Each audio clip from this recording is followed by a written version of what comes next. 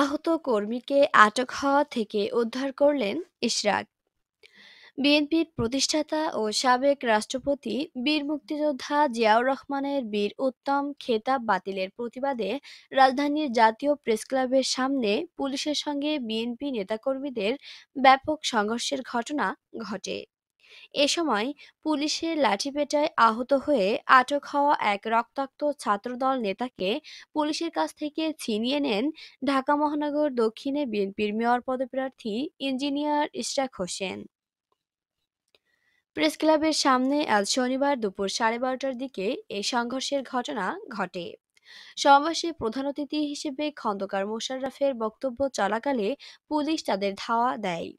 BNP সমাবেশ করতে চাইলে পুলিশ প্রথমে লাঠিপেটা শুরু করেন পরে বিএনপির নেতাকর্মীরা নিজেদের রক্ষা করতে জাতীয় প্রেস ক্লাবের ভেতরে ঢুকে পড়েন পরে পুলিশের উপর ইটপাটকেল নিক্ষেপ করলে পুলিশও ব্যাপকভাবে চড়াও হয়